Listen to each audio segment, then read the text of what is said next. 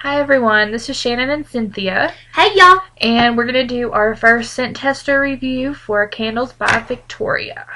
Alright, um, Victoria sent us this 8 ounce jelly, well, 8 ounce jelly jar. It is, um, white, and on the label, it has no scent name. Because it's a surprise. Well, and we've got to see if we can figure it out. Yep. Alright, um, Mother, take us away. Um, we, um, our initial thought when we opened the candle, when we got it, was that we smelled grapefruit. And it wasn't a very strong smell, but we definitely could smell the tartness of the grapefruit.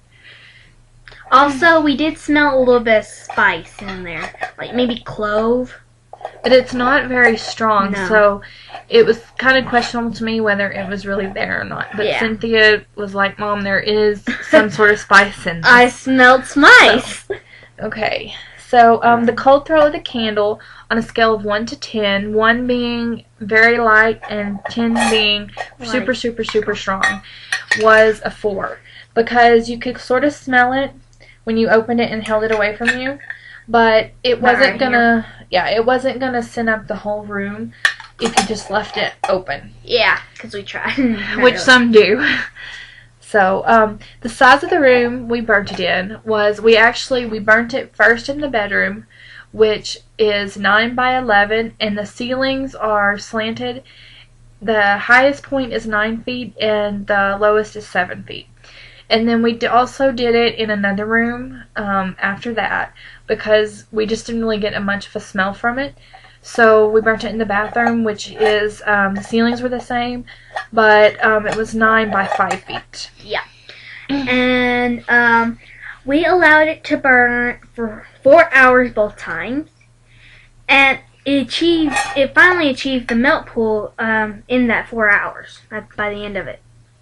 So, and say, just barely got to it. Yeah.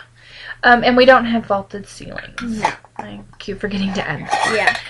Um, and during the initial burning process, we smelt it um, in the bedroom about 40 minutes after we lit it, but it was very light. It was just a just a hint. Yeah.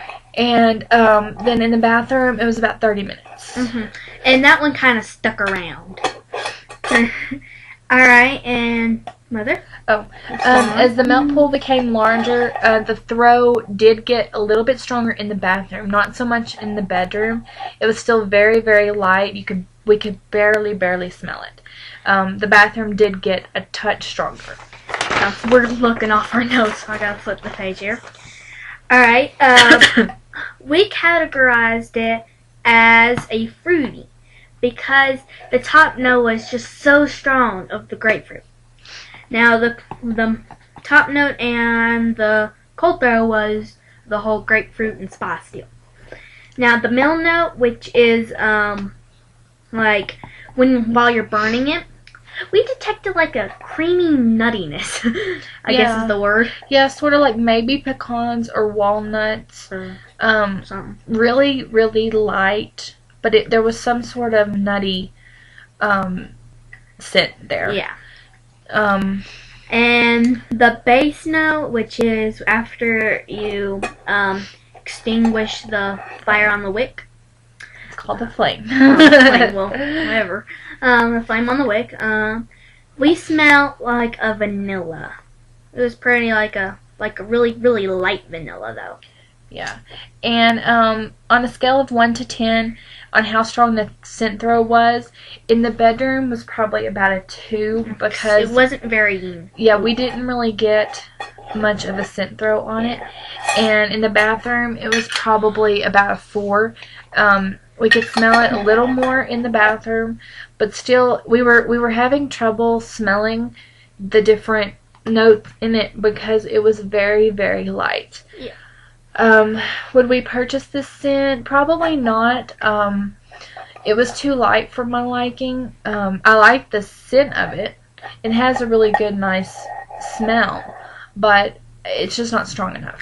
Although, if you like um, strong scents give you a headache, or it's really, really you like light scents more than you do stronger scents, Mhm. you may want to get this candle. Yeah, if you're very sensitive to smells And the spice in it, if there is any spice, it's not very much, so it's not overpowering at all. So, um, but I guess that would be it. And um, I guess we'll see y'all next time we do a scent review or um, another scent test or something. So, Well, bye, y'all y'all. later.